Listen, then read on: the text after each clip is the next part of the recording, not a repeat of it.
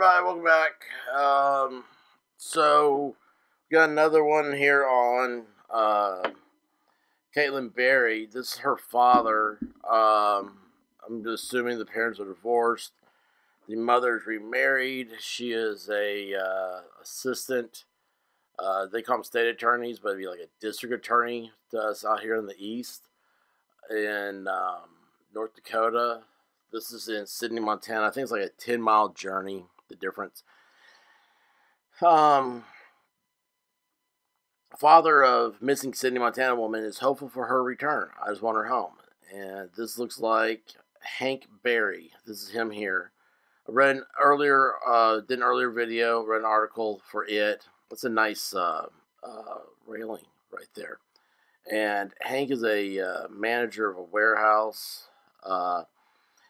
He said that he built her an apartment above his workshop. So this would be her apartment.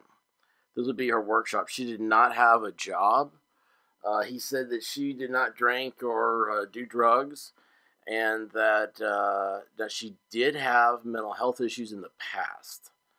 Um, but that is as far as anything new that is uh, odd. But anyway, here we go. So Hank Berry stands on his daughter Katelynn's doorstep in Sidney on the 3rd, four days after he reported her missing.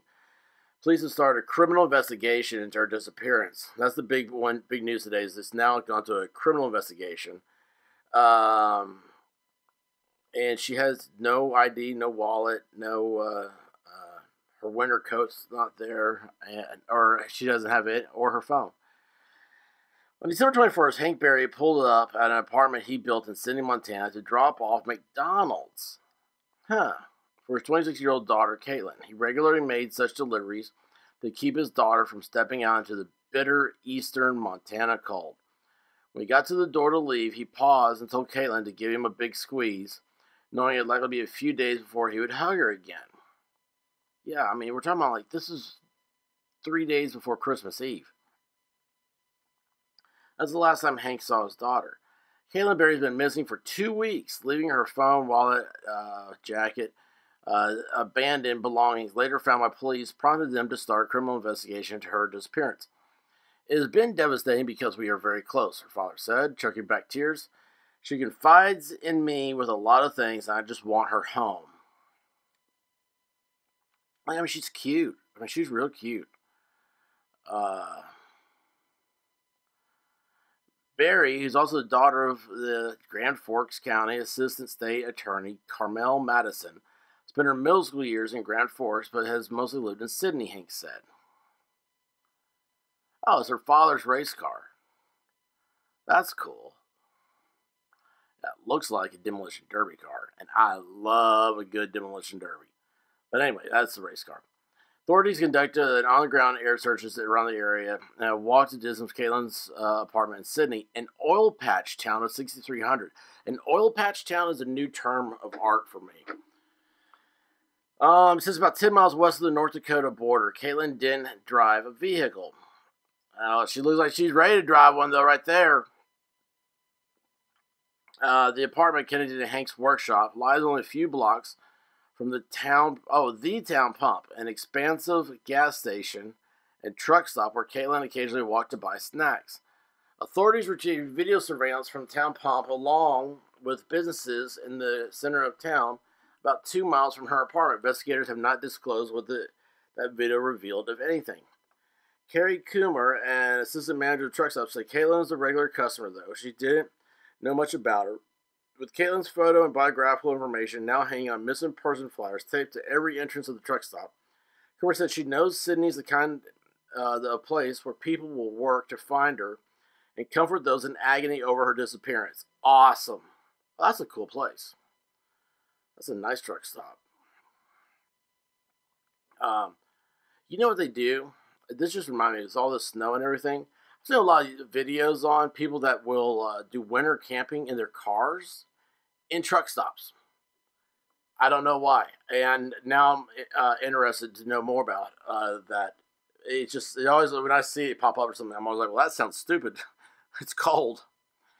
Um, when somebody's missing, the town comes together and help quite well. We have a close community, so that's beneficial in these types of situations. Richland County Sheriff John Dynneson said his entire office is working to find Katelynn. There have been no other disappearances in the area recently. And when they say sheriff, like here in the east, like sheriff uh, is uh, in charge of the jails in the county. They're the chief law enforcement officer uh, for that county. Out west, like a county like this, like you're talking about this town of 6,300 people, there might be one deputy on duty at a time. And we're talking about counties that are, might be uh, 200 miles across from one end to the other.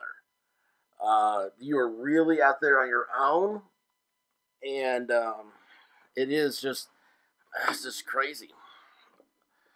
Um, let's see here. Authorities have no suspects in connection with her disappearance. Katelynn mostly stayed at home, drawing and listening to music, but she had big dreams of opening a CBD shop in town, her father said. Everybody's into that CBD. The legal hemp derived product helped Katelynn cope with mental health issues that she was battled through her adult life. She's 26. 26 is a prime age when girls turn uh, become bipolar. I'm not saying that happened here. I'm not giving any medical advice or anything else like that. Just a random statistic I've heard once. Um,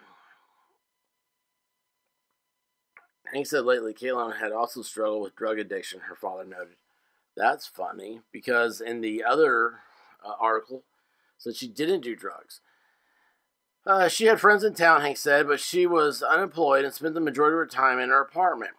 Uh, Hank remembers going to concerts with his daughter in North Dakota at a Kiss show in Grand Forks. Hank bought her a sweatshirt bearing the iconic band's name. She was likely wearing it when she disappeared, he said. Really? That seems odd. His gut Hank believes Katelynn hasn't left the immediate area. If someone in town knows where she is, he hasn't given up hope that Katelynn is out of harm's way. I mean, she is a cute girl. But you know, in reality, every day we get uh, that goes by is a little grimmer. Uh, if you have information, call the sheriff's office. Um, that's a bus or a plane. Plane, I'm betting. Huh. Anyway, there's a sheriff's office number. Um, that's just weird. Huh.